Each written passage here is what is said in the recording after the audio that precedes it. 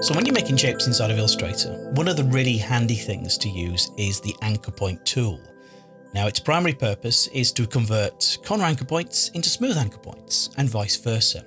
So here, if I draw an ellipse to match this pale blue colour template in the background, just so you can see where I'm heading to. And then if I switch to the direct selection tool, click on the top anchor point, of course all ellipses are composed of four anchor points, I have my anchor exactly where I need it to match the template at the top. However, this is a smooth anchor point. Note the handles on either side.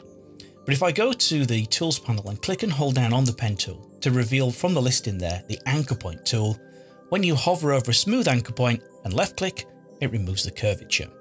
And conversely, you can go back to that anchor point, click and hold down the mouse and drag and you can pull out and add handles.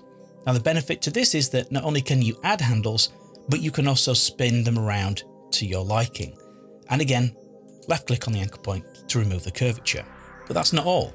So if I pick up my pen tool and if I just land a series of left clicks on all of the points of the template in the background, again, just so you can see where I'm heading to for this, I'm not doing any dragging here. And of course, seems like this doesn't match the shape in any way, shape or form.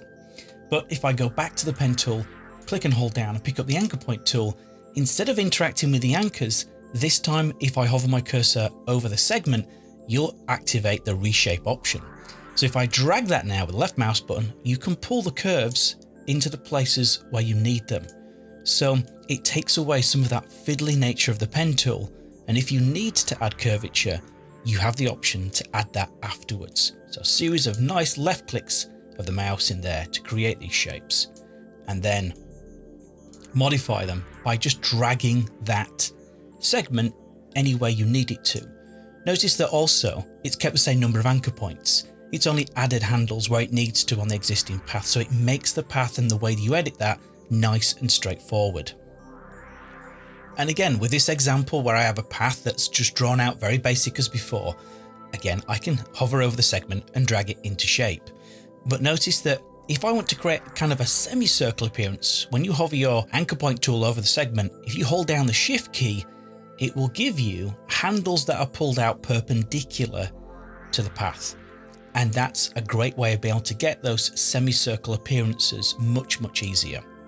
If it's a shallow curve, more elliptical in nature, then you can simply click and drag on the segment and you can even reshape those handles just by using the same tool. The anchor point tool will allow you to modify the handles, making that process much quicker. You don't have to switch to the direct selection tool. So it is a very versatile tool, it's just that some of those really great features are hidden away. And that is the anchor point tool. Thanks for watching folks. As always, if you've enjoyed the video, please give it a thumbs up. Um, you can always subscribe. If you click on the bell, you'll get notification every time we release a video on this channel, which now will be every Wednesday at half past 12 GMT and in the next episode, I'm going to show you how you can create asymmetrical shapes like the bat symbol inside of Illustrator. Until then, farewell folks.